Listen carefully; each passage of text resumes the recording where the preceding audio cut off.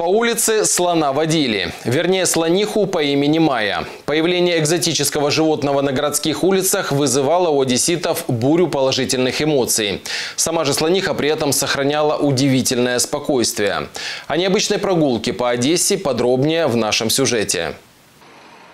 Уж чего-чего, а такого жители города еще не видели. Слониха спокойно гуляет от улицы Садовой до Торговой и обратно. Немного мешает транспортному движению, но все счастливы и довольны. Одесситы вовсю фотографируют и снимают на видео гуляющее животное. Чья слониха, спросите вы? Наша, одесская, цирковая. Рядом с животным гуляет дрессировщик, который следит за всеми его передвижениями. В Одесском государственном цирке стартует новая программа под названием «Слоны и сильные люди».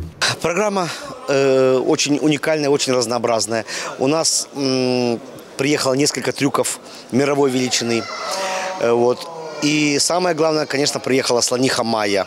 Слониха Майя весит 5 тонн, умеет ходить на задних лапах и делает разные трюки. Также в программе цирка представлены несколько уникальных мировых номеров. В шоу работает 29-кратный рекордсмен книги рекордов Гиннесса. Э, Фахридин Ахназаров, э, который, э, один из его рекордов, он тащил зубами 8 грузовиков. Э, Также у нас работает знаменитый Туйчи Хан, э, человек, который повторяет трюки Гарри Гудини. Вы увидите в его исполнении трюк освобождения под водой. В новой программе цирка зрители также обещают удивить уникальным смертельным номером.